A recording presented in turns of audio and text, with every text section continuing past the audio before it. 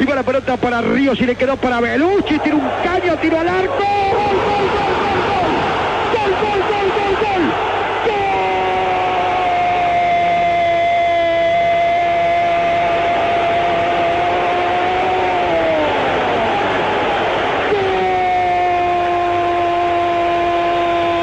¡Goloso! ¡Soy arriba el Belucci! ¡Fernando Belucci por fin Belucci. Για να δούμε η παλιά δεν offside το καλέτη αλλά χάνει λίγο το κοντρόλ θα βγει πλάγια. Γυρίζει γκολ 4-1 ο Μπελούτσι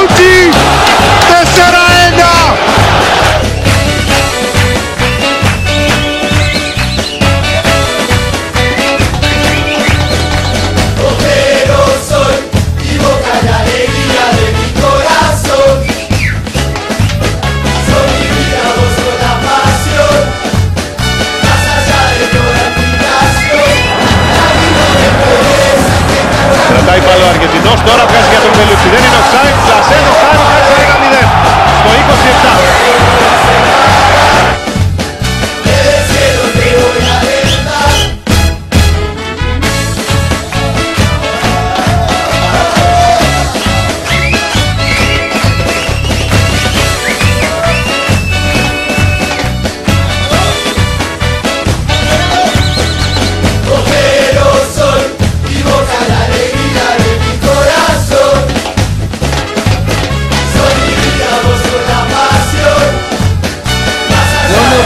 Ευκαιρίες σε σέντρα. Από τον Όσκαρ με την περιοχή τώρα έρχεται από τον Μπελούτσι. Αυτή τη φορά η σέντρα ήταν από τα δεξιά. Το 35 λεπτό ανέβει το σκορ Ολυμπιακός. Mira porque no va a separar Del cielo te voy a alentar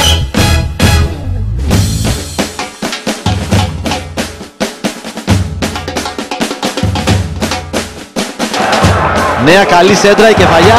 Και καταπληκτική επέμβαση του Καλίνοβιτς σε κόρνερ. Y boca Κόντινς ο Μπελούτσι έκανε προσποίηση. Αφέθηκε να παίξει ο Ηρακλή και πέρασε για τον Όσκαρ και πάλι 3-0. Ο Ολυμπιακός το 79. más allá de toda explicación Camino de pereza que cantar puré Total visitante yo te vengo a ver Mira porque no va a separar Del cielo te voy a alentar Βγαίνει η παλιά ο Μπελούτσι το πλασέ κόρνερ από τον Χάνσεν